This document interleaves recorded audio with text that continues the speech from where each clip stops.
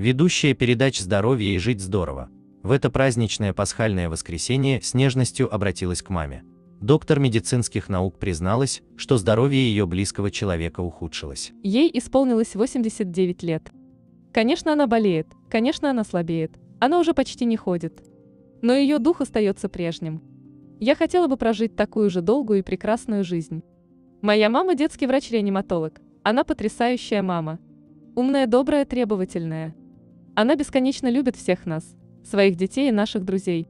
Она любит своих шестерых внуков. Она любит своих восьмерых правнуков. Трогательно рассказала Елена Васильевна. Она подчеркнула, что главным пожеланием для мамы считает здоровье, насколько это только возможно. И жизни. Просто живи.